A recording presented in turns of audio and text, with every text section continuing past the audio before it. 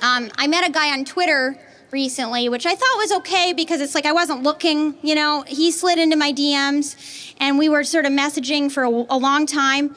And then we started FaceTiming. But there's a new thing happening now, I feel, because of all the Me Too stuff, where guys are actually being creepier by not being creepy. Which is honestly starting to creep me out more than when they were just creeps, right? Because we used to know where they were. We'd be like, there's a creep, there's a creep. Now they're all like, I'm not a creep. I respect women. I respect you.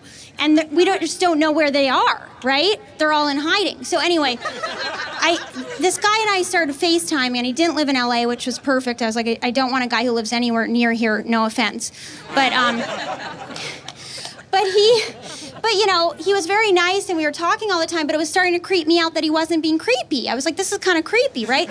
So finally, finally, I said to him, I was like, I don't really know what you want from me. And he was like, I just want to know how you're doing.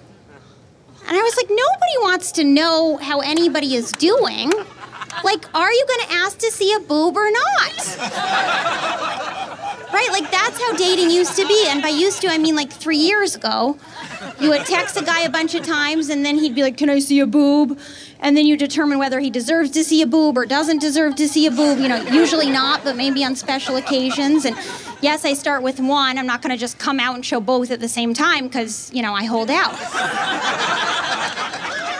so he, he said to me, he's like, Well, you don't strike me as the type of girl who would like it if a guy just asked to see her boob.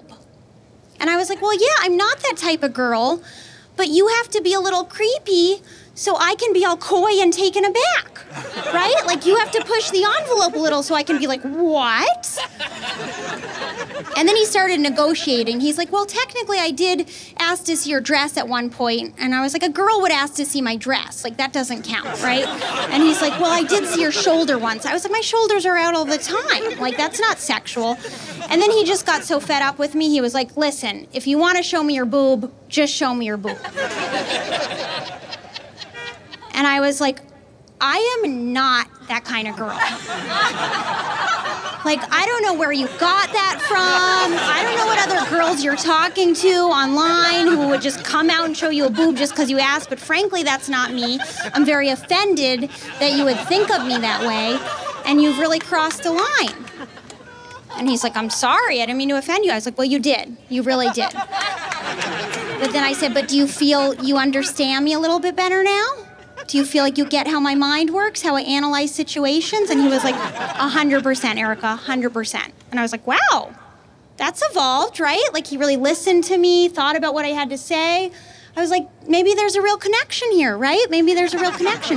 But I'm still gonna get off the phone because I feel pretty shaken by that question you asked me.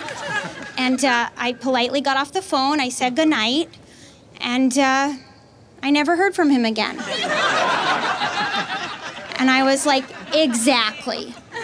Just another creepy guy with one thing on his mind.